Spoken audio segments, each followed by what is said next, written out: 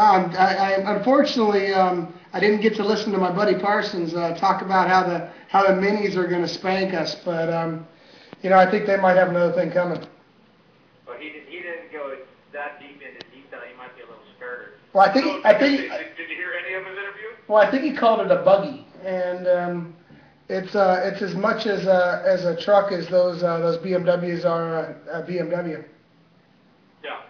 One, of the things he said is obviously, you know, uh, uh, such a driving talent, something like that. But you talk about a team like like theirs, they were relating it to where they have uh, eight cars and all the support that goes with it, and, the two cars on your team. And I'd like to hear from you how you relate to that.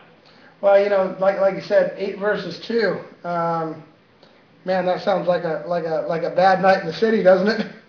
Um, but then again, you know, um, two years ago uh, we beat all the BMWs, and um, there's no reason that we um, that we can't do it again. You know, the Volkswagens were were far superior to everything out there.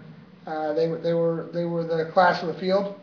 Obviously, um, Mini was uh, was fast last year, um, and you know they had they had trouble. We had we had a wheel bearing. We had trouble. Um, you know, this race is is going to be a different race, I believe, without Volkswagen being there.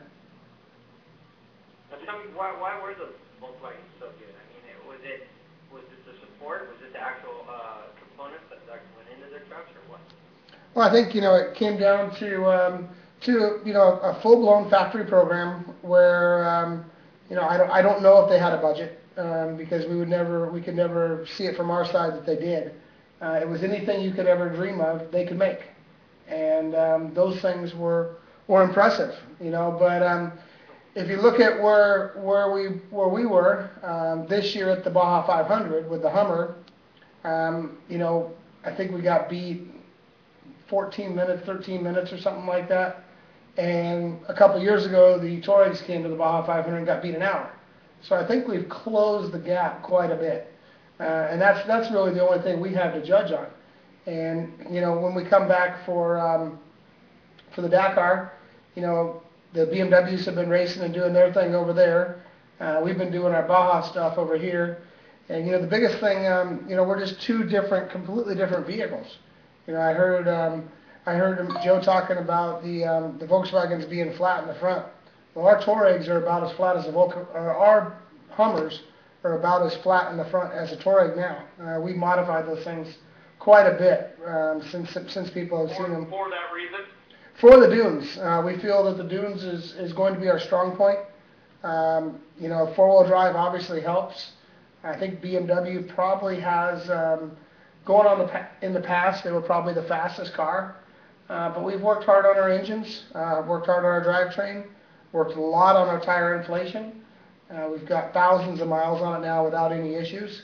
And, um, you know, we just gotta, we just gotta dot all our i's and cross all our t's, but it's, it's gonna be a different race. I think, um, you know, with, with, um, with Nasser starting first on the road, uh, that's going to help us. I think the first stage is a, is a beach special. Um, you know, it, it doesn't mean a lot in the whole big scheme of the rally, but if you can stay first on the road, we, we see what that is in Baja, how, what an advantage um, being that first car on the road is. It's, it's hard to beat that. hey, uh, Robby, uh, Hey, Robby. Hi, Damien. How are you? Hey, how you doing? It's Um, it's been a long time since I talked to you. It has while. Yeah, you won a stage thing, and, and you finished pretty high. What do you think it's going to take you to finally break through and, and actually win? And what did you maybe learn from some of those races where you didn't have the best of luck that can help you break through? You know, I think the, the things that we've been working on the most is um, is what it takes to keep our people fresh, um, and that's that's the sub assemblies and the um, the the behind the scenes preparation. You know, our big uh, our big Freightliner trucks that we have now. Uh, this will be the third rally that they're on. Um, the creature comforts of those things, the tools the guys have to work with, and not only the tools they have to work with, but all the parts that were um, pre-assembled prior to the rally. You know, when you when you look at, um, I watched a guy just the other day. Normally, we, we do all of our hub preparation, you know, at the rally. We've we've we've got some new parts and pieces now where we can pre-assemble these things and plug and play. Basically, take a, a drive shaft or an axle change from, you know, an hour and a half job down to probably a 15 minute job.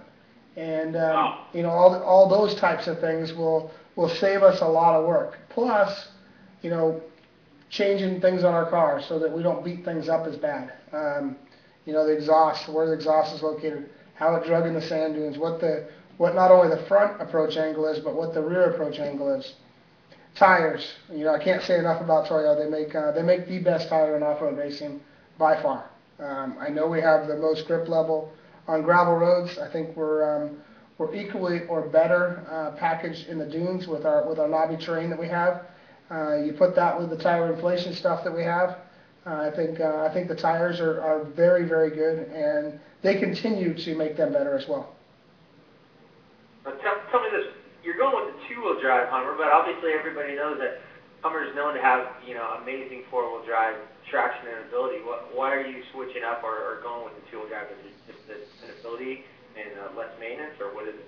There's a lot of things, um, and you know it, it's it'll turn into a conversation that'll that'll go on for for a long time. But with a two wheel Ten words or less. 10 words or less, two-wheel drive, you're allowed to run a 37-inch tall tire.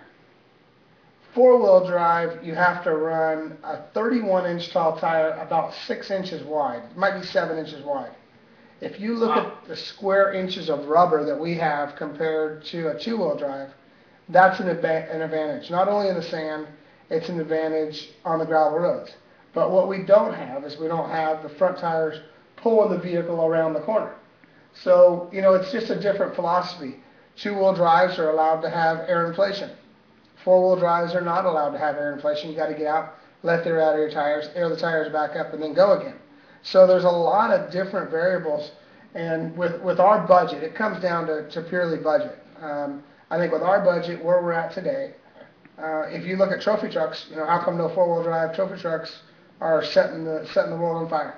Because Yep. they don't down there. Um, and I think if we ever have a clean run uh, down at the Dakar, I think that we would have a legitimate shot, you know, at every special or every stage.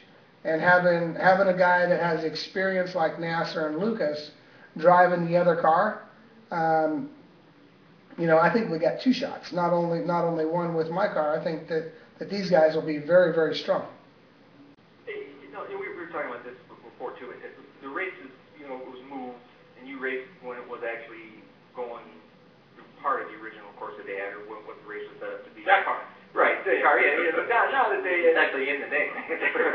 now that uh, now that they moved it, has this race lost any of its maybe mystique, or do you still feel that you know this is still a really tough challenge? No, no, this is an enhancement. Okay, um, and and, and it's it's it's very hard to explain it, but in Dakar or Africa, yeah, it might be desolate, but people can't afford to buy Toyo tires. They're not going to buy any speed energy drinks. They're not going to um, they're not going to buy you know Hummers or or Touaregs or or any other manufacturer down there. Uh, it's just a different environment altogether. Imagine the start of the rally, and this is this is a fair way and an honest way I can put it, is like every day is like the Daytona 500.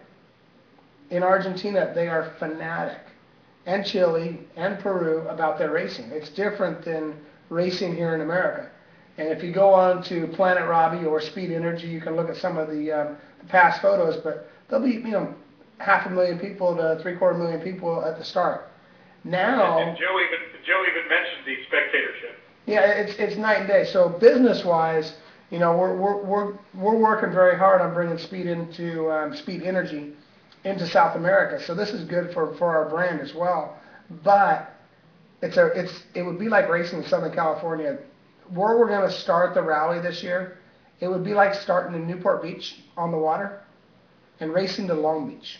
It just doesn't happen with houses and people on the beach watching the race cars go down the beach. It's stuff that we should be doing in America, but everybody's so concerned about everything, we don't do anything here fun in America anymore. Well, yeah, and, and you know, thanks for bringing up Johnny Campbell. I think he's a, a great addition to the team. Uh, his experience, his manage, managerial abilities by running Team Honda's off-road team, he'll be able to help me. I think there's things that Johnny will be able to do to, to help our race team.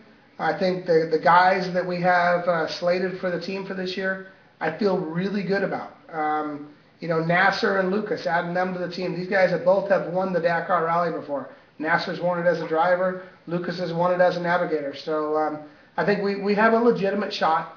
Uh, the most important thing is for us not to beat ourselves.